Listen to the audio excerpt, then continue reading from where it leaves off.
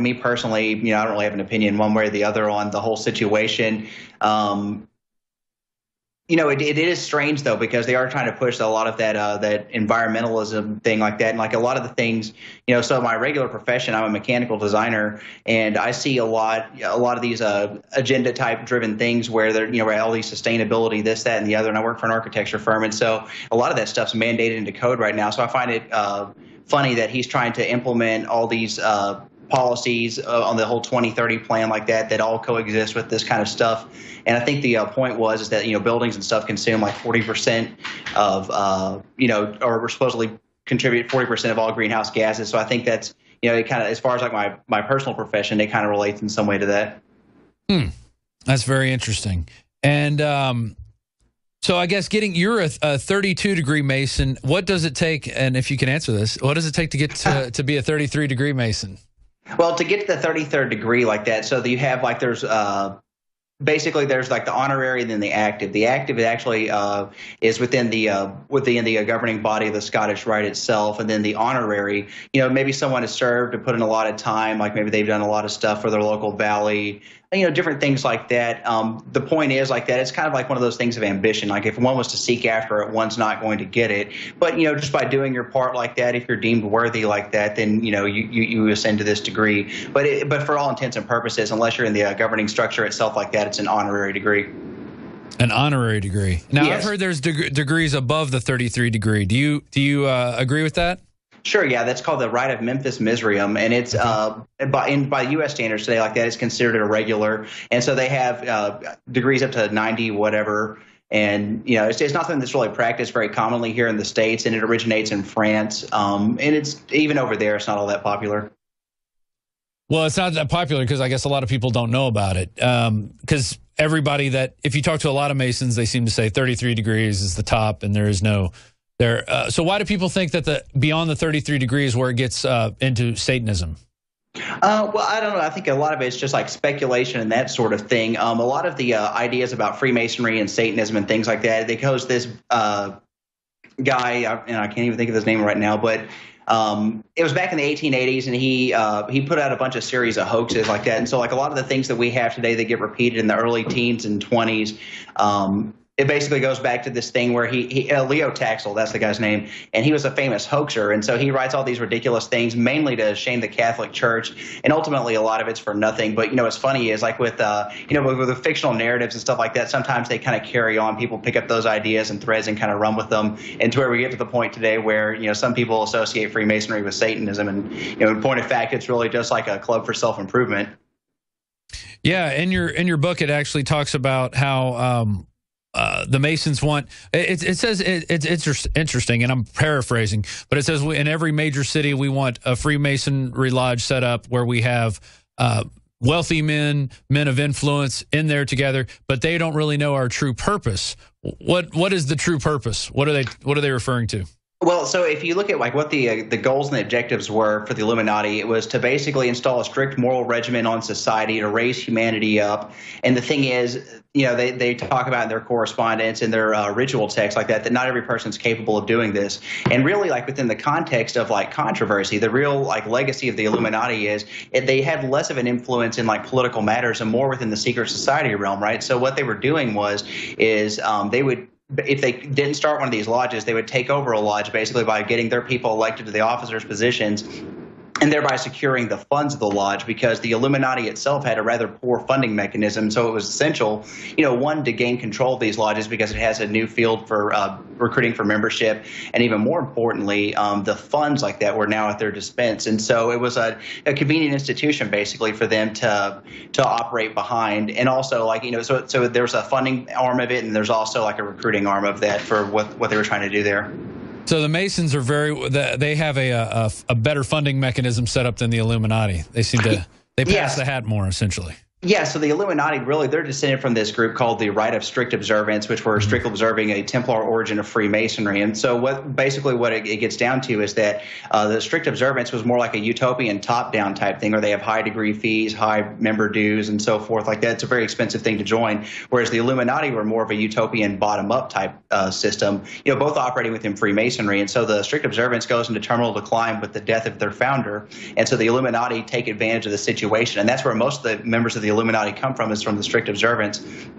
And so, as a consequence of these really expensive degree fees, and if you're trying to institute something from bottom up instead of top down, you've got low degree fee structures, right? So, on the bottom levels of the Illuminati, they weren't really paying dues or didn't have very many uh, things to contribute financially to it. It was more like on the honor system, whereas in with Masonic lodges, there's prescribed degree fees and, and that sort of thing.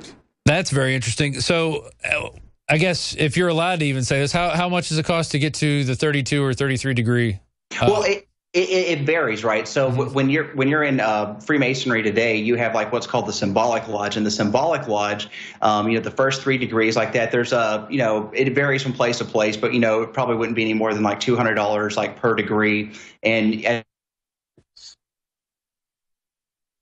yep. become a master mason, you can join what's called appendant bodies. And these appendant bodies, um, you know, it depends. You can go York Rite, Scottish Rite, the Shrine, and so mm-hmm. forth. And to join these things like that, they each have their own degree fee structures. And so it, it, it, varies on what you're trying to do. But in addition to having degree fees, there's also like annual dues. And it's not anything extreme or anything like that. You know, never more than like a hundred bucks, generally speaking. So, I mean, it's, it's, it's kind of like a country club dues or something like that. Like you have to pay like an application fee, and then like you pay like you know to maintain your membership. Mm-hmm. Uh, I, would like to intervene, Rob. Yeah, go ahead. Go ahead, Leo. Un, uh, historia. I mean, we have amongst historians, so Joseph knows me very well and knows that I talk correctly when I say, first of all, the strict observance which gave later birth to the Illuminati was, for many historians, a Jesuit creation and this is not my words, but the words of some very eminent Masonic historians.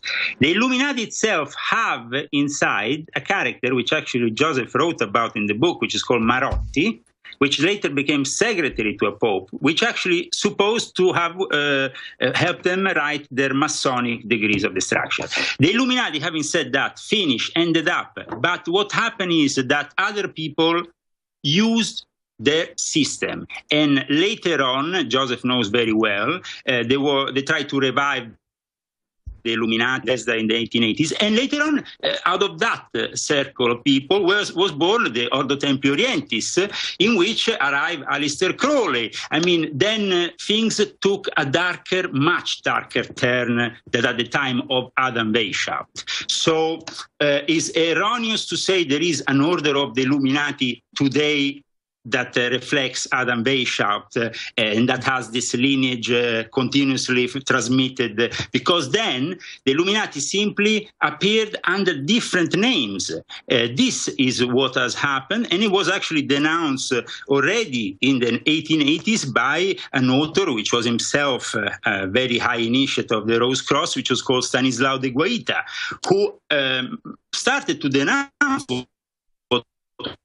that maybe the intentions that Joseph has put through in his book, and even Joseph has mentioned at the beginning of his interview, are quite noble, some of the intentions of the Illuminati. The problem is that after they got corrupted, and they used this system, and you can study the system of the Illuminati because then it reflects many of the systems of power that were mm-hmm. used later on uh, not only uh, within secret societies, but also by governments. Like communism has a lot to do with the Illuminati, for example. That's why Spartacus, the first communist group in Germany, uh, was called Spartacus, because Spartacus was the initiatic name of Adam Weishaupt.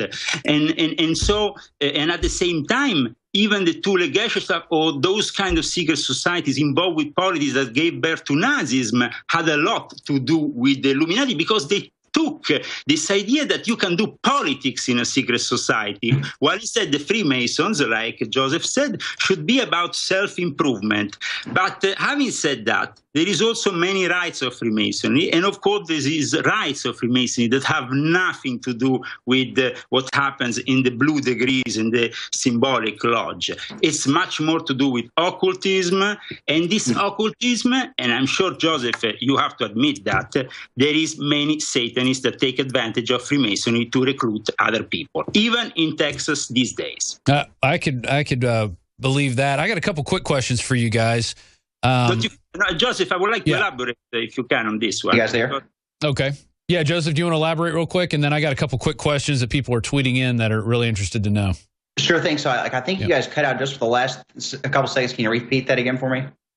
Uh, what, what was yeah, go ahead, asked to Joseph was basically if you could elaborate on the fact that the many Satanists still these days are taking advantage of the Masonic structure to recruit for their infamous sects that have nothing to do with the craft but have to be condemned. And unfortunately, the Grand Lodges of Freemasonry have not done so. And even Robert Gilbert, in his uh, essay, Apologies uh, of Freemason, had to admit that they are in growing numbers, Satanist, people like uh, Thelemic from the OTO, they are infiltrating Freemasonry left, right, and center, and they are abusing it. Now, this can't be permitted. How can you rent a lodge of respectable people, a Freemason lodge, to a group that does a satanic mass with a naked woman on the altar? This is, for me, jo- Joseph, how do you uh, respond to that?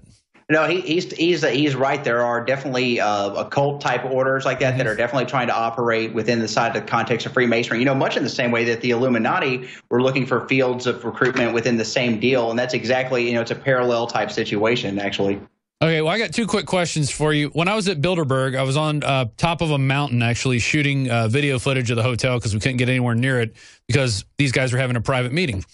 Uh, all, all the most rich and powerful people in the world. Um, while I was there, I had a 1776 hat on, and there was a German guy who rode his bike all the way down to uh, to Austria to see what was going on. And he said, you know, 1776, that's when the Illuminati started. Do you think there is a correlation between the Illuminati starting and uh, the United States declaring its independence? No, and so it's it's for separate reasons, right? So with the uh, it's two isolated fields. So like the uh, first few years of the Illuminati's life, from 1776 to 78, they only had 10 members, right? So it's like the it's the this college professor and his pupils that he's mentoring to make the secret school of wisdom. But and, Joseph, Joseph, the fact is that the Rosicrucians were the real Illuminati, as you know, and were called the real Illuminati, and they preceded 1776, and they yes. were uh, very important in the foundation of the United States of America. So while we can say that the Order of Weishaupt have nothing to do, it's uh, partly uh, true, though, that the real Illuminati, the ones who even helped out Weishaupt himself, because Knigge belonged to those people, were the ones who helped founding the USA. So we have to be honest about certain things. Well, no, yeah, which Illuminati are we talking about, right, Leo? Absolutely. That's why yeah. we have to have uh, people like me and Joseph explaining you this vast world, which takes really years to, to understand because it's so compartmentalized, so hierarchically speaking, very complex, which I think we are doing a great thing today during Money Bomb to help people understand more. No, Joseph? Yeah, well, hey, before we get to that, let me just let me just announce a couple things since you mentioned the money bomb uh, which you're watching right now, Infowars.com forward slash money bomb. Steve from Las Vegas just donated $1,000. He's entered into that oh. drawing. We're giving away a really nice gun from Head Down. Uh, it's going to be uh, for people who donate $1,000 or more, get into a raffle. Also, we have Robert G., uh, Betty M., and Gary R. Gary donated a 500 and then uh, Betty and Robert donated a 1000 And uh, we also have Brian, who went through PayPal, did $4,000. Thank you very much, Brian S., Margaret M, another thousand. And then we've got, you know, a plethora of 500, 250, $200 donations. And uh, the, the uh, rocket is getting fueled up to launch us to the next to the next strat to the stratosphere and actually we're going to be launch we're launching a satellite network with all this uh, here's another question from twitter guys uh, how about or does does uh, this is for joseph and okay. um, and leo do you expect that the 33rd degree Masons are going to have special access to get with the Pope and actually meet with him, confer him? Do you think there will be some special meeting, maybe even some sort of mass uh, just with 33rd degree Masons? And is the Pope a Mason? I, I don't know that, honestly. So that's for my own Okay, so if I can start off, uh, Go ahead. No, he's probably not a Mason, and I'm pretty sure we'll have to stand in line just like everybody else. But the thing is, is like, you know, you know, I think people make a lot more out of like the 33rd degree and being a Scottish Rite Mason. It's, it's not it's not the elite glamorous club that people think it is. It's just uh, it's you know, it's a, it's mainly it's like what we call like the University of Freemasonry. So a lot of your academically minded people go there. I can't say one thing uh, to Joseph. Joseph knows it that within the 33rd degree. From time to time, they recruit a lot of knights because, for example, in the Supreme Council here in Rome, the Pope has at least five Knights of the Order of the Holy Sepulchre among the Supreme Council recognized by Washington. So uh, there is a structure here which